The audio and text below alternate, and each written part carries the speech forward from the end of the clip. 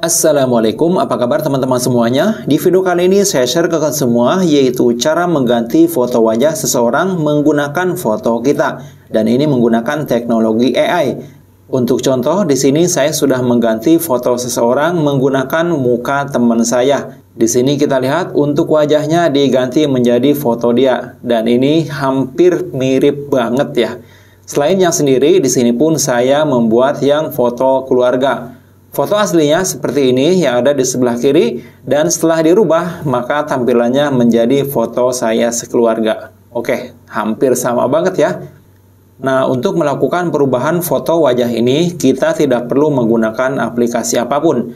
Caranya silahkan kalian buka browser internet di HP kalian, lalu silahkan kunjungi situs Remaker Strip EA. Seperti ini. Kemudian di sini kita akan menemukan dua pilihan yaitu tukar wajah secara langsung ya, biasanya untuk foto sendiri dan ada wajah banyak. Nah, ini biasanya digunakan untuk foto keluarga.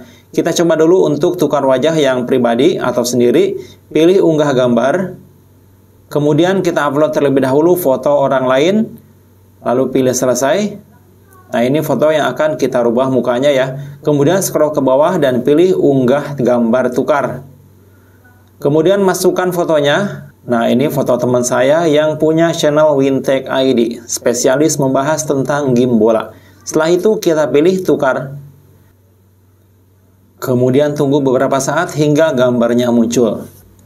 Oke, untuk gambarnya sudah muncul ya dan hampir mirip banget dengan aslinya. Oke, sangat mudah sekali ya. Jika sudah, kemudian unduh untuk menyimpannya ke galeri. Kemudian untuk mengganti foto wajah sekeluarga, di sini kita pilih banyak wajah. Kemudian kita pilih unggah gambar, lalu silakan masukkan foto yang akan diganti mukanya. Di sini foto yang kita gunakan foto orang lain yang sudah satu keluarga seperti ini. Kemudian kita scroll di bawah dan di sini kita tinggal mengganti satu persatu fotonya ini. Pertama foto yang si bapaknya kita ganti dengan wajah kita. Di sini kita ganti menggunakan muka saya. Kemudian untuk foto si istri kita ganti juga. Kemudian untuk foto anak kita ganti. Semuanya kita ganti saja. Oke, jika semua foto pengganti sudah kita masukkan, lalu pilih ganti wajah. Di sini kita menukar dua kredit ya. Tapi jangan khawatir, semuanya itu gratis sebanyak 30 kredit. Tunggu hingga selesai. Oke, sudah berhasil. Dan kita lihat mukanya benar-benar mirip sekali ya. Lalu unduh untuk menyimpannya ke galeri. Dan ini dia untuk hasilnya. Dan sekarang kita bandingkan untuk kemiripannya.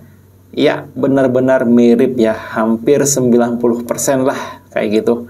Oke, itu dia teman-teman untuk video pada kesempatan kali ini. Semoga bermanfaat. Terima kasih banyak sudah menonton. Wassalamualaikum warahmatullahi wabarakatuh.